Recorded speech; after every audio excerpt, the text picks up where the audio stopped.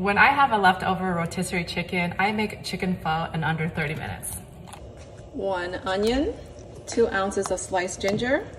This is rock candy sugar. If you can't find that, just use regular table sugar. About one tablespoon of fish sauce, some salt.